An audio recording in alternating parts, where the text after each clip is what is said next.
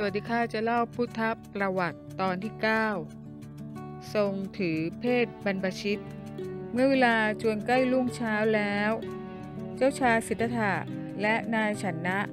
ก็บรรลุถึงฝั่งแม่น้ำอโนมานาที เจ้าชายสิทธัตถะก็ทรงขับม้าคันตกะ กระโจนข้ามแม่น้ำโดยปลอดภัย เมื่อพระองค์ทราบว่าพ้นเขตเมืองกบินพัทแล้ว ก็เสด็จลงจากหลังม้า กันทกะ เจ้าชายสิทธัตถะทรงประทับนั่งเหนือหาดทราย อันขาวสะอาด แล้วพระองค์ทรงรับสั่งแกนายชนะว่า เราจะบรรพชาถือเพศเป็นบรรพชิตในที่นี้ ท่านจงเอาเครื่องประดับของเรา และม้ากลับคืนสู่พระนครเถิด ครั้นทรงตัดเสร็จแล้วก็ทรงเปื้องเครื่องประดับสำหรับขติยราชทั้งหมด มอบให้แก่นายชนะ เมื่อเจ้าชายสิทธัตถะทรงตั้งพระทัยปรารถนาจะทรงบรรพชา หรือออกบวชจึงทรงดำริว่า เกษาหรือผมของเรานี้ไม่สมควรแก่สมณเพศ จึงทรงจับพระโมลี หรือผมที่หมุนเป็นมวย ด้วยพระหัตถ์ซ้าย ส่วนพระหัตถ์ขวา ทรงพระขัน ตัดพระโมลีหรือมวยผมให้ขาดออก ทรงเหลือพระเกศาไว้ยาวประมาณสองนิ้ว เป็นวงกลมเวียนไปทางขวา จากนั้น ทรงจับพระโมลี หรือมวยผมนั้นว่างขึ้นไปบนอากาศ แล้วทรงอธิษฐานว่า ถ้าเราจะได้ตัดสรู้เป็นสัมโพธิญาณโดยแท้แล้ว ขอจุลาโมลี มวยผมนี้ จงตั้งอยู่ในอากาศ อย่าได้ตกลงมาเลย หากถ้าว่ามิได้บรรลุสิ่งที่ต้องประสงค์ ขอให้โมลีหรือมวยผมนี้จงตกลงมายังพื้นพระสุธา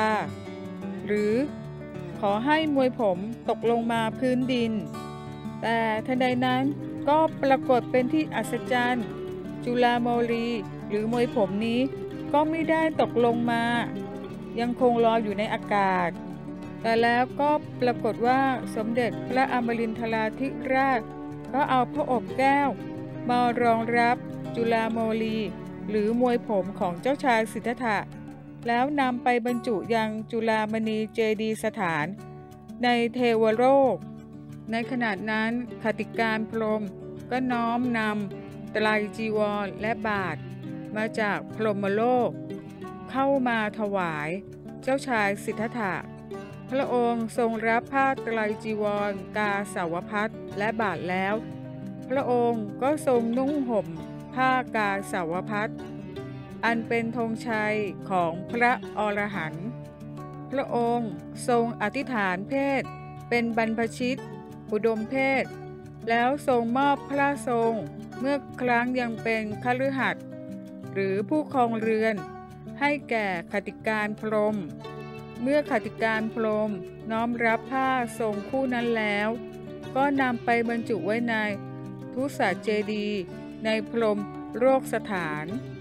เมื่อเจ้าชายสิทธัตถะพระมหาบุรุษเจ้า ทรงบรรพชาแล้ว จึงรับสั่งนายฉันนะอมาตว่า ท่านจงเป็นธุระนำอาพรของอาตมา กลับเข้าไปยังกรุงกบินพัทแจ้งข่าวแก่ขติยสกุลทั้งหลาย อันมิได้รู้เหตุ แล้วกราบทูล พระเจ้าสุโธธนะ และพระนางประชาบดี พระราชบิดา และพระราชบารดาของเราว่า พระโอรสของพระองค์หาอันตราย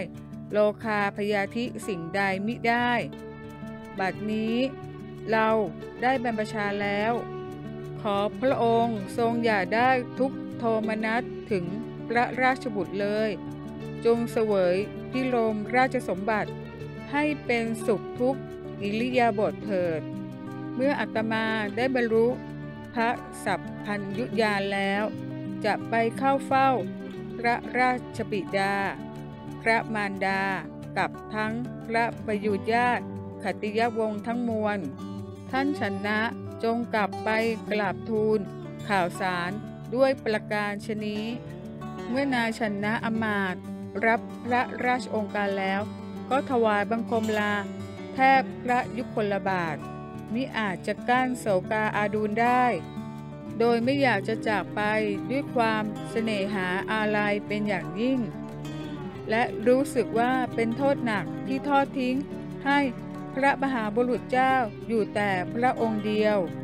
แต่ก็ไม่อาจขัดพระกระแสรับสั่งได้ นายชนะจึงจำต้องจากพระมหาบุรุษเจ้า ไปด้วยความสลดใจสุดจะประมาณ โดยนำเครื่องอาภรณ์ของพระมหาบุรุษเจ้าทั้งหมด เดินทางพร้อมกับม้าคันตกะ สินทวชาติ กลับพระนครกบิลพัทพอเดินทางไปด้วยชั่วสุดสายตาเท่านั้น มาร์กกันทกะก็ขาดใจตาย ด้วยความอาลัยรักในพระมหาบุรุษเจ้าสุดกำลัง เมื่อนายชนะกลับถึงพระนครกบิลพัทชาวเมืองทั้งปวงก็ต่างโจดจันกันมาก ว่านายชนะอมาตกลับมาแล้ว ชาวเมืองต่างก็รีบไปถามข่าวในชนะ รวมทั้งมวลหมู่อมาตก็มาถามข่าว เมื่อทราบความก็บอกเล่ากันต่อๆกันไป จนกระทั่งนายชนะอมาตได้มาเข้าเฝ้า พระเจ้าสุโธธนะ แล้วได้ถวาย เครื่องอาภรณ์ของพระมหาบุรุษเจ้า แล้วกราบทูล ความตามที่พระมหาบุรุษเจ้า สั่งมาทุกประการ ว่าพระองค์ทรงออกผนวกเป็นบรรพชิตแล้ว ครั้นพระราชบิดา พระมาตุจัดฉา พระนามพิมพา ตลอดจนขติยราชได้สดับข่าว ก็คลายความเศร้าโศก